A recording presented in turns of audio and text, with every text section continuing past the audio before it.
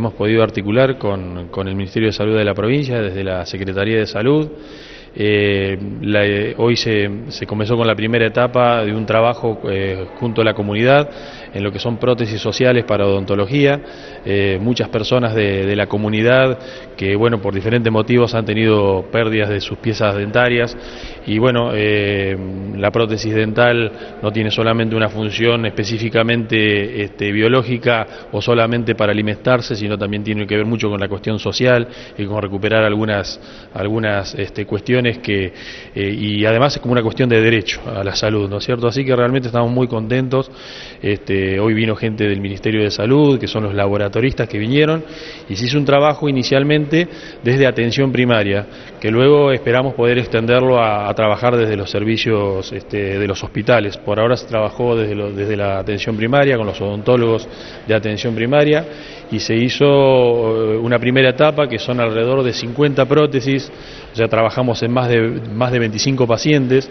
Eh, y bueno, la gente sumamente contenta y agradecida de esta, de esta posibilidad que normalmente por sus medios económicos no pueden acceder y bueno, está muy bueno que, que desde la gestión y desde, y desde, este, desde, esta, desde este municipio eh, se pueda darle, alcanzarle a, a, las personas esa, esa posibilidad de solución. Esta es una, es una primera etapa que luego la vamos a volver a, se volverá a repetir. Este, esto lleva cuatro pasos que son, eh, hoy fueron las tomas de las impresiones, luego se hacen los registros de mordida, las pruebas de, desenfilados, de los enfilados dentarios y luego se instala la prótesis.